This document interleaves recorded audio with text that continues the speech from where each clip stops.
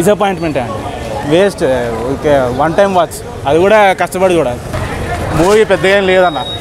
అంతే one and half two stars ఇస్తాను. ఏం తక్కువైంది ఏ అని అంటే స్టోరీ లేదు. బాగా రొటీన్ పర్ఫార్మెన్సెస్ అంతా రొటీన్ స్టోరీ రొటీన్ అంతే అదే సాంగ్స్ యాక్టింగ్ అదే సేమ్ అంతా అది. ఏదో మెసేజ్ ఇచ్చారంటున్నారు మూవీలో ఏ మెసేజ్ అంటే ఇప్పుడు మెసేజ్ ఓరియంటెడ్ ఫిలిమ్స్ ఒకసారి చూస్తాం రెండు సార్లు చూస్తాం. ప్రతిసారి అవే మెసేజ్ ఓరియంటెడ్ ఫిలిమ్స్ అంటే మార్చి అట్లనే ఉండింది భరత్ అనే నేను అట్లనే ఉంటుంది కొత్తదనం ఏమీ లేదు. కమర్షియాలిటీ మిస్ అయిందా కమర్షియల్ అదొకటే ఉంది. ఇంకేం లేదు.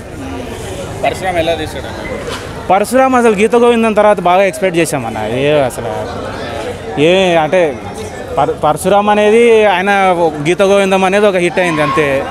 దాని తర్వాత ఇది మంచిగా తీస్తున్నారు మంచి మహేష్కే స్టోరీ అని చెప్పారు. ఏం అదేం అట్లా ఏం అనిపించలేదు అసలు. చాలా మంది పోకిరి టూ అని ప్రమోషన్స్లో అన్నారు ఆరెంజ్ లేదు పోకిరి టూ అసలు పోకిరి ఏ లెవెల్లో ఉండింది? పోకిరి అసలు పోకిరి టూ అనేది అసలు అసంభవం ఇది. రేటింగ్ ఎంత ఇస్తావు ఫైవ్కి? చెప్పి టూ స్టార్స్ ఇస్తారు వన్ అండ్ హాఫ్ టూ దానికంటే